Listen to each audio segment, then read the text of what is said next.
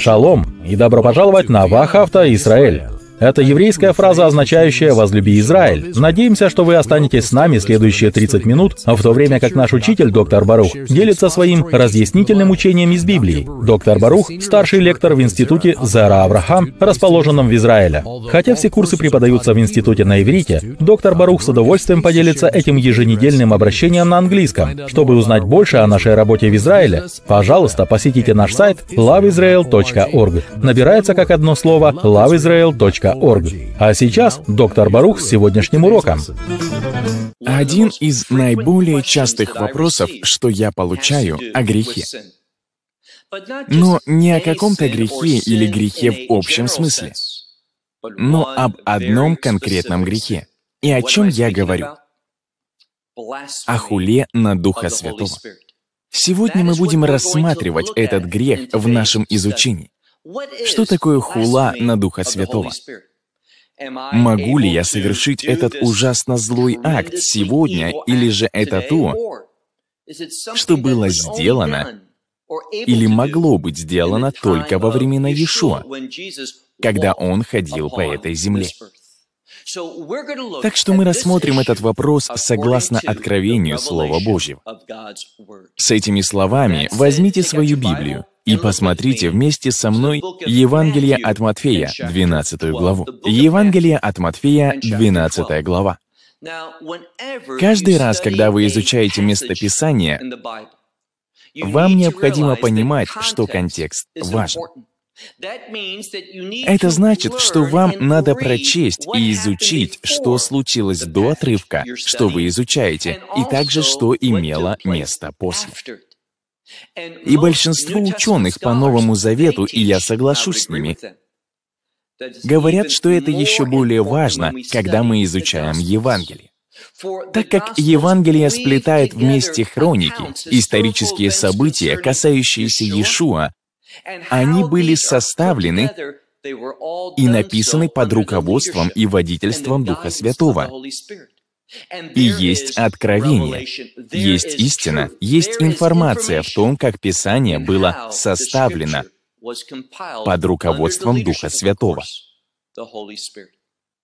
Рассматривая эту двенадцатую главу, мы увидели что-то.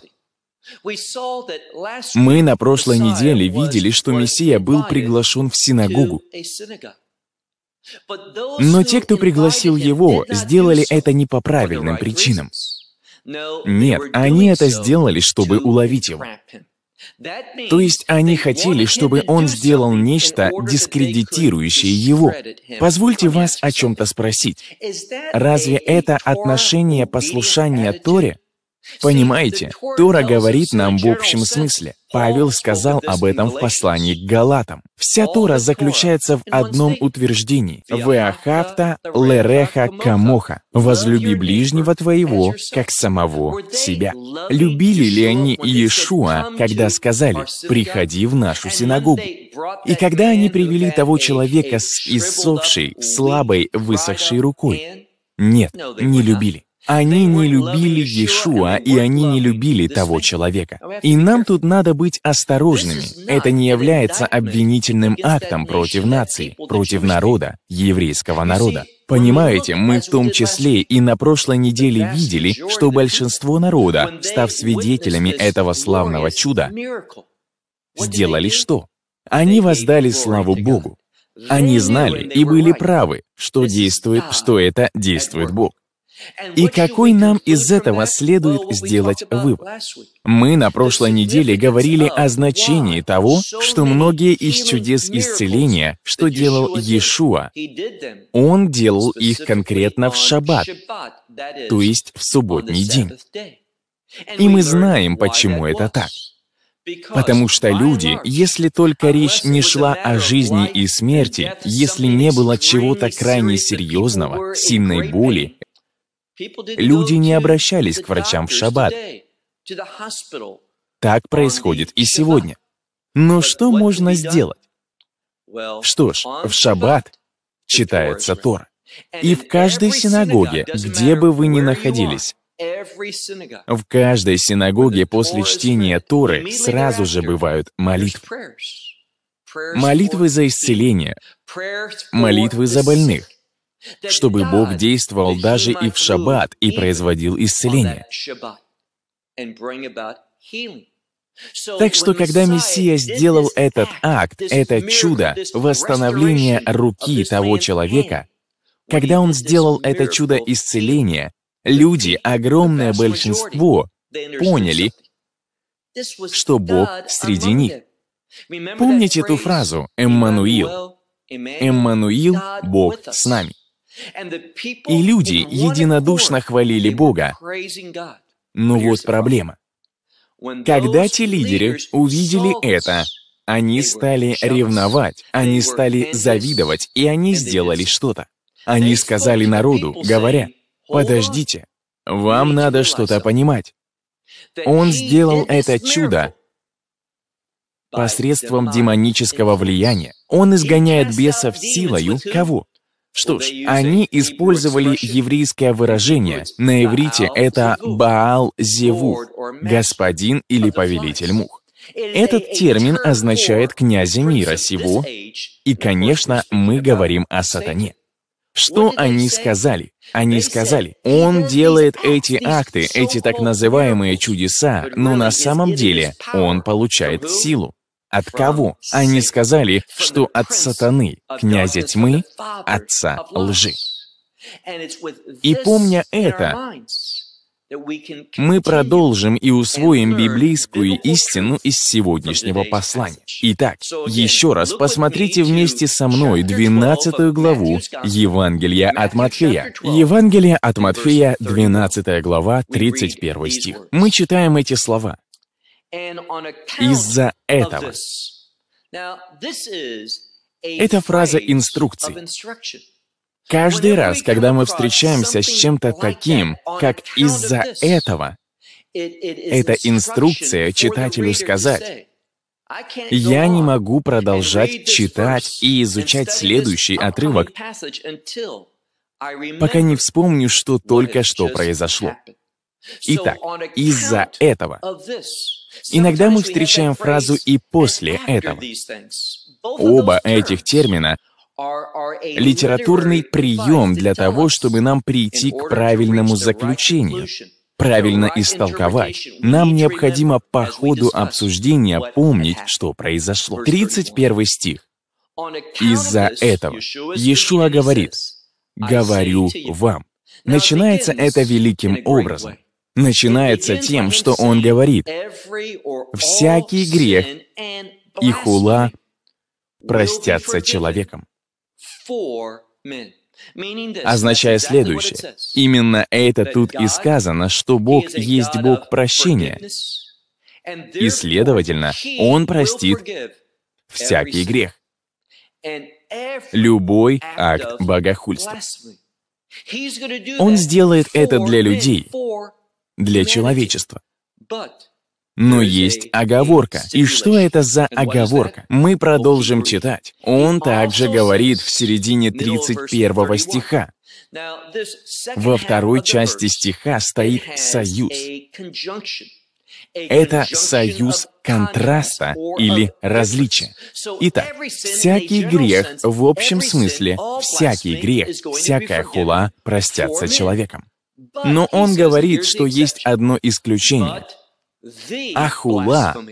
Если мы посмотрим на первую часть 31 стиха, то увидим, что перед словом «хула» нет определенного артикля. Что это значит? Мы говорим о хуле в общем смысле. Но читая вторую часть этого стиха, мы узнаем что-то. Мы узнаем, что речь идет конкретно об одной форме хулы. И что это? Читаем дальше. Иешуа говорит, «Ахула на Духа». Дух, о котором мы говорим, и скоро мы увидим, что вне всякого сомнения он говорит о Духе Святом. Некоторые переводчики для того, чтобы помочь вам понять, выделяют эти слова скобками или курсивом. Но мы, вне всякого сомнения, говорим о Духе Святом. Итак, Иешуа говорит, а хула на Духа, то есть на Святого Духа, не простится человеком. И дальше он говорит, чтобы подчеркнуть это с тем, чтобы у нас не было неверного понимания. Заметьте, что он говорит в следующем 32 стихе. Если кто скажет слово на Сына Человеческого, простится ему. Так что любое слово, любое богохульное утверждение, сказанное против Сына Человеческого, Иешуа говорит о себе, будет прощено. И позвольте мне просто сказать, прежде чем пойти дальше. Прощение. Заметьте, тут сказано «проститься». Все это будет прощено, и это «будет» стоит в пассивном залоге. Значит, что-то должно быть сделано, чтобы прощение стало возможным. А почему в будущем времени? Потому что мы говорим о том, что делает это возможным, а это крест Христов. Пролитие крови Иешуа, собственной крови Иисус, крови Иешуа. Когда Он умер на том древе почти две тысячи лет назад, это и только это, что сделает вообще всякий грех и в том числе богохульство, прощаемым. Вот почему здесь сказано, «Если кто скажет слово на Сына Человеческого, простится ему». Но он говорит, если же кто скажет на Духа Святого, и вот здесь эта фраза уже есть, на Духа Святого. Если же кто скажет на Духа Святого, не простится ему или для него. Это значимо. Вот почему мы знаем, что говорим о непростительном грехе. То есть о грехе, который не может быть прощен. И заметьте, что он говорит в конце 32 стиха. Он говорит, не в этом веке или мире, не в будущем, то есть не в будущем веке, будущем мире, а это царство. Эта фраза подчеркивает то, о чем мы только что говорили. Не проститься ни в этом веке, ни в будущем. Что говорит нам, что это серьезно. Следовательно, нам необходимо ответить на вопрос, что такое хула на Духа Святого? И как человек совершает этот грех? И возможно ли совершить его сегодня? Что ж, вспомните, что я сказал, и это уже третий раз, что я ссылаюсь на это. Все это связано с правильным привнесением контекста в этот отрывок. Потому что те лидеры сказали, что то, что Иешуа делал, он делал это через князя тьмы, правителя мира сего, и в этой временной эпохе речь идет о сатане, Вильзевуле. И вот что мы видим. Сейчас я хочу вернуться к очень важному стиху. Взгляните на 25 стих и заметьте, что тут сказано. Но Иисус, очень важно, но Иешуа, зная помышления их. Это подразумевает, что Иешуа понимал, он знал, вот что говорит текст. Точно знал, что они думали. И что они думали? Мы об этом говорили. Они были свидетелями чуда и знали. Они знали, что Иешуа был послан Богом. Они знали, что Он делал эти вещи через Духа Святого. Он знал, и они знали это. Но вот проблема. Они в неповиновение из ревности и зависти вместо того, чтобы понять свою позицию лидеров, приводить людей к истине, что они делали? Они не оказывали доброе влияние, они не побуждали людей делать добрые дела. Но что они делали? Они имели знания, но сказали, что ж, мы знаем, что Он делал это через Духа Святого. Но мы объявим и провозгласим, что Он делал это через сатану. А это и есть хула на Духа Святого. Вопросы, которые я очень часто получаю касательно этого вопроса, по крайней мере, 30% писем от людей, которые очень обременены. Думая, что он или она сделали именно это, что они совершили непростительный грех, что они похулили Духа Святого, и я хочу очень конкретно сказать, есть много ученых-библеистов. Они намного умнее меня, у них намного больше опыта, и они говорят следующее. Они говорят, что хула на Духа Святого не может быть произнесена сегодня. Почему? Чтобы это сделать, надо из первых рук своими глазами видеть чудо, которое совершил Иешуа, когда он был на этой планете около двух тысяч лет назад. Он не здесь телесно. Мы все еще видим чудеса, но они совершаются не через его тело, не его руками на наших глазах, чтобы нам видеть их. Так что они говорят, что сегодня этого сделать нельзя. Другие говорят, что хулана Духа Святого может быть совершена сегодня, но вот критерий. Когда вы увидели несомненное чудо, что-то приносящее честь Богу, прославляющее Его, нечто восполняющее нужду, и вы обличаемы реальностью. Да, это Бог. Он сделал это чудо. Это от Бога. Но вместо того, чтобы признать это, воздать Богу благодарение или просто промолчать. Вместо этого, зная, что это от Бога, вы объявляете и говорите, «Подождите, Подождите, то, что вы только что увидели, это сатанинское, сделано под демоническим влиянием. Это не от Бога. Я сомневаюсь, что есть такой человек, который видел чудо, знает, что оно от Бога и при этом заявляет. Нет, я буду лгать. Я брошу вызов Богу и скажу, что это от сатаны, это его действие.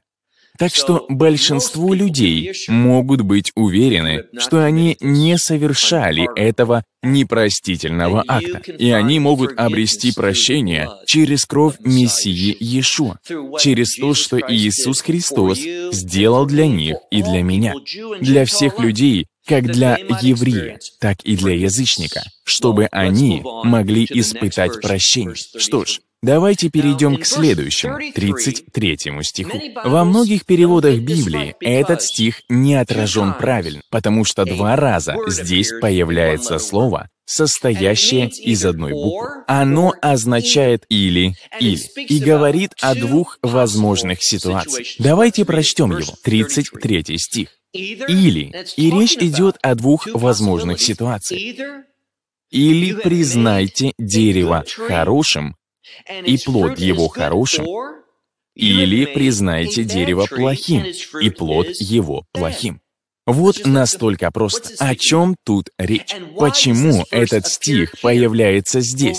Что ж, а вспомните, что тут говорится о хулена Духа Святого. И кто делает это? Данные руководители. А влияние оказывают не только руководители, но и все люди, понимаете? Знаете вы это или нет, вы будете влиять на других. У вас есть свидетельство. Люди наблюдают за вами, и вы или будете приводить людей к истине, будете благословением в их жизни, или, не дай Бог, наоборот, вы будете оказывать негативное влияние, будете уводить людей от истины. Итак, он говорит здесь, или признайте дерево хорошим, или плод его хорошим, или признайте дерево плохим, и плод его плохим. И он говорит, говорит во второй половине 33 стиха.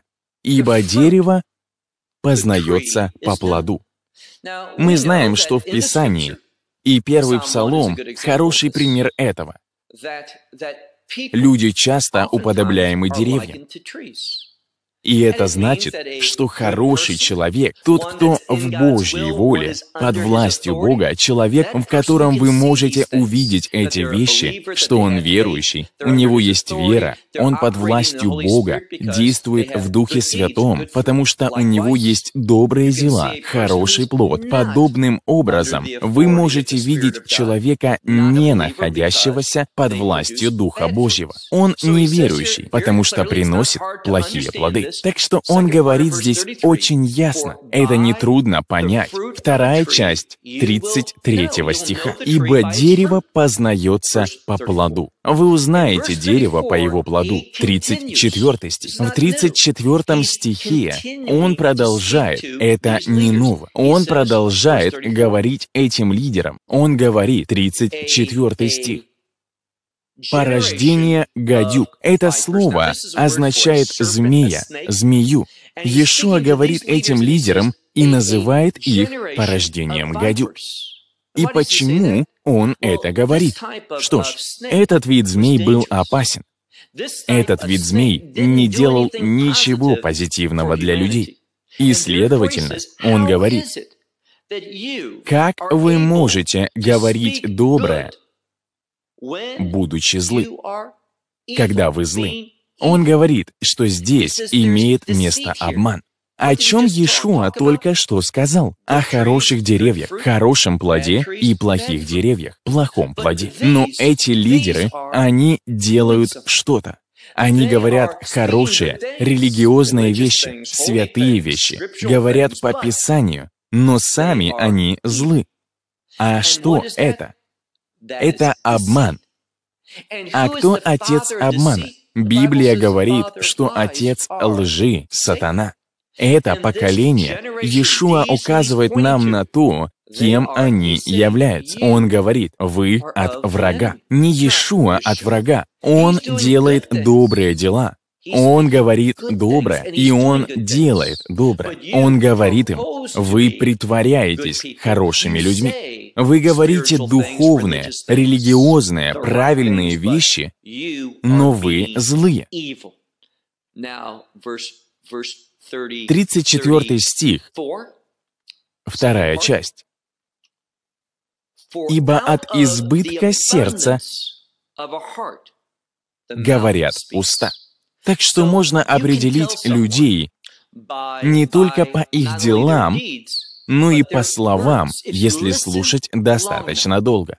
И он говорит здесь, ваши слова, обращаясь к лидерам, обличают вас, потому что вы знаете, что говорите ложь. Вы приходите и говорите добрые вещи, но вы лжецы и дети великого лжеца.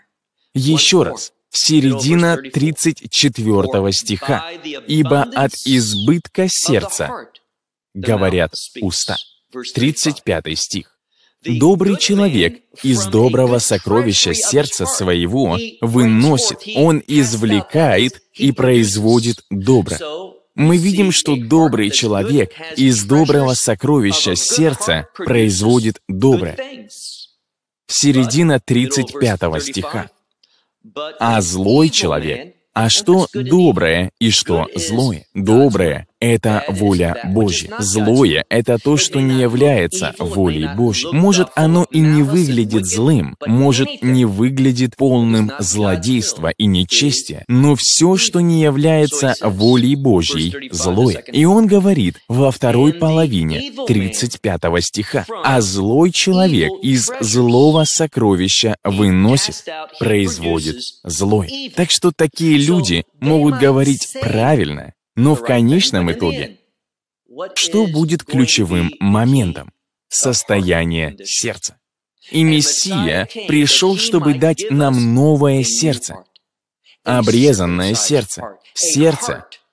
А о чем говорит обрезание? Обрезание — это умершвление плоти. Плоть и зло, они идут вместе. Смерть плоти, чтобы мы могли жить, ходить в духе, а эти индивидуумы этого не делают.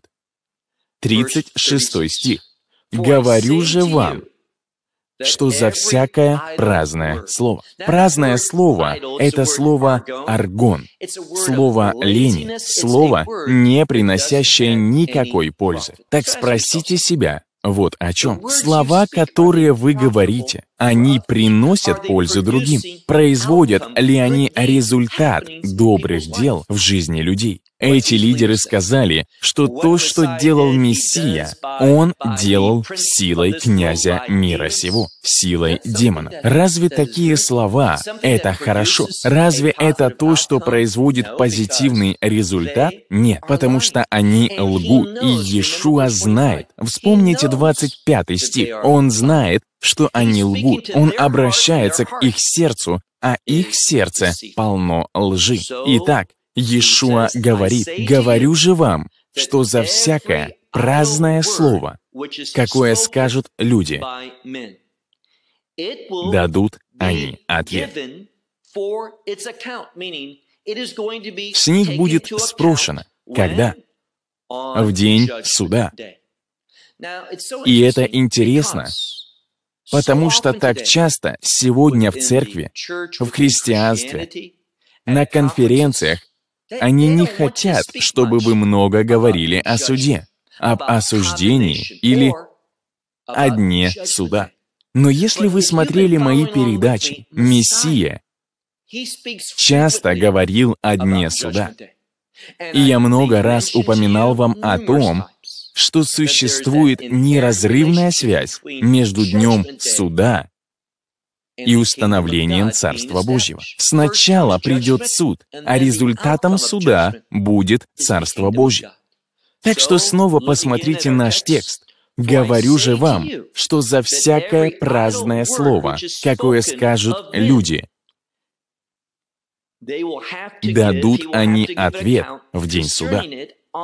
Ибо от слов своих оправдаешься, и от слов своих или словами своими осудишься, ты будешь осужден. И о каких словах он говорит здесь? Имеет ли он в виду, что если мы будем говорить правильные вещи, надлежащие, хорошие вещи, духовные вещи? Нет, речь идет о Евангелии. Если устами твоими будешь исповедовать Иисуса Господом и сердцем твоим веровать, что Бог воскресил Его из мертвых, этими словами ты будешь оправдан. Но если отвергнешь это. Если не будешь верить, если не исповедуешь свои грехи и не примешь их прощение через смерть Иешуа на кресте и Его воскресение, если этим словам ты скажешь «нет», тогда будешь осужден. Вот насколько это просто. У вас есть чудесная возможность, возможность все исправить. Просто сказав «я исповедую. Устами, я верю сердцем, что ты умер за мои грехи и победоносно воскрес, знаменуя победоносную жизнь, которой я могу жить сейчас, производя добрый плод, обретя спасение и вечное пребывание в Твоем Царстве». Скажите Запомните эти правильные слова. Что ж, время закончилось. До встречи на будущей неделе. Шалом. Надеемся, что вы получили пользу от сегодняшнего послания и что вы поделитесь им с другими. Пожалуйста, запланируйте присоединяться к нам каждую неделю в это время и на этом канале. Чтобы посмотреть нашу трансляцию, loveisrael.org. Чтобы узнать о нас больше, зайдите на наш сайт loveisrael.org. Там вы найдете статьи и многие другие лекции Баруха. Эти лекции в форме видео. Вы можете загрузить их или смотреть в потоковом видео. До встречи на следующей неделе. Да благословит вас Господь в нашем Мессии Иешуа, Иисусе, в вашем хождении с Ним. Шалом из Израиля!